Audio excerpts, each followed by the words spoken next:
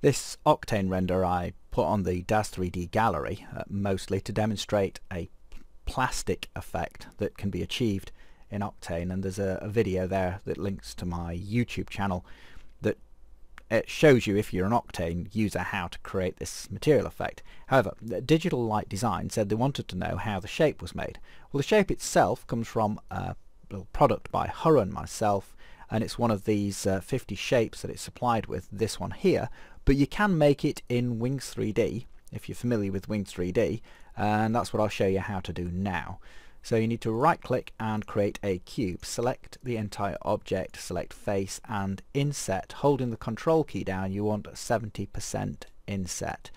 And then you want to right click again and intrude it 0.7. So just intrude it 0.7 so it looks like that.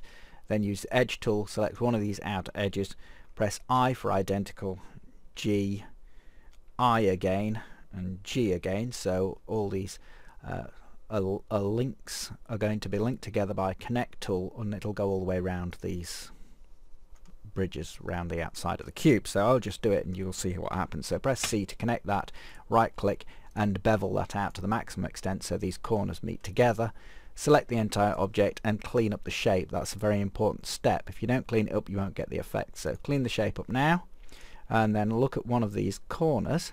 Press space to deselect everything. Select face tool and you're aiming to select the following faces.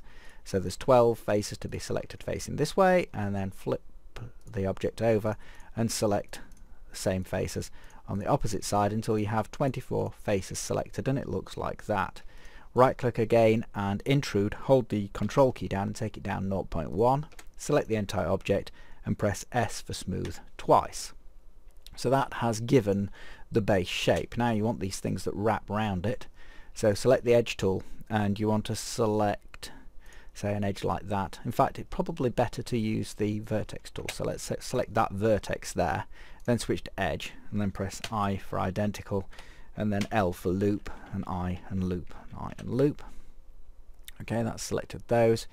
Uh, I want some on the inside here so I press I and L, I and L and then at this point you can right click and bevel them out now if for some reason I'll just select an arbitrary level of bevel you fail to get all the faces or loops selected in that go you can use control alt and Z to step back um, any number of steps I think to about 50 and you can go back and start adding them in if necessary. Or you can use this arrow to step back or this arrow to step forward so I can go back to where I've got it beveled.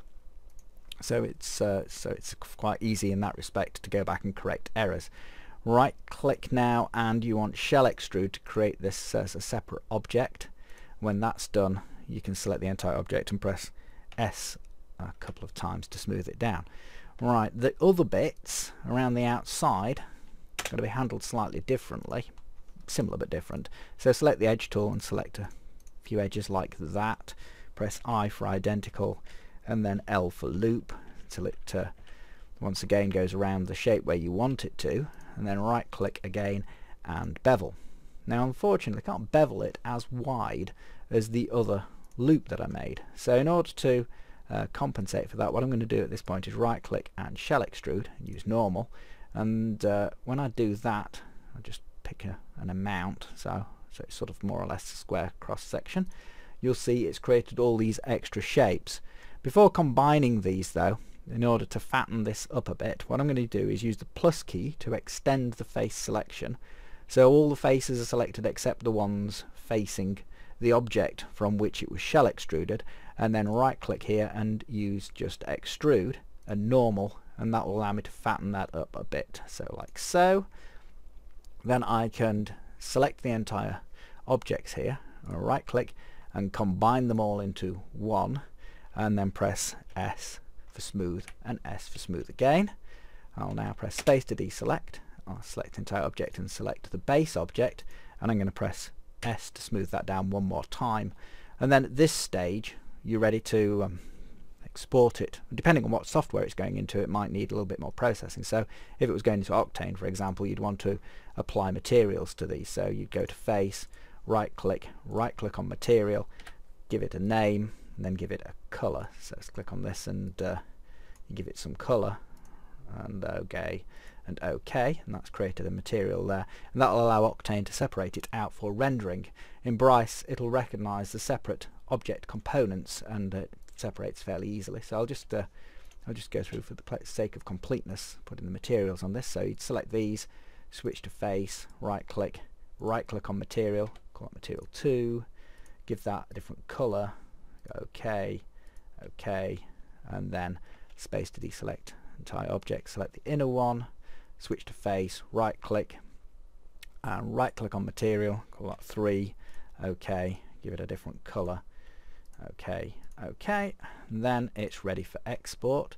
So if we go file export wavefront OBJ format works for both um, Bryce and for Octane. It's, uh, it's quite a flexible format so we'll just find somewhere to save this and give it a name shape and then go save. You will find depending on the complexity of the shape there should be a little progress bar along here to show the export.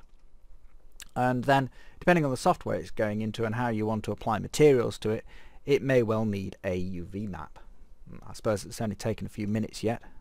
So once this is completed what I'll do now is I'll launch UV Mapper Classic and I'll bring this into this view here while we're doing this and then I'll just check to see whether this has managed to export itself yet. It's uh, it might still be in the process of exporting oh no it's completed. Probably Camtasia Studio interfered with the interface a bit there and it didn't show the export progress bar. Right if I take my shape now and drop it into UV Mapper Classic which is a little free bit of software I can do some basic UV mapping on it. So I'll go OK it says the object has no UV map so I just go to edit a new UV map. I'll make it spherical. I'll have it on the y-axis I'll scale the result, spread the face of the pole to see how that looks, go OK. It doesn't take very long, so that's my shape. It's now been given a UV map. I just need to go File, Save Model, OK. I'll just overwrite the existing one. Uh, ask me if I want to replace it, I say yes.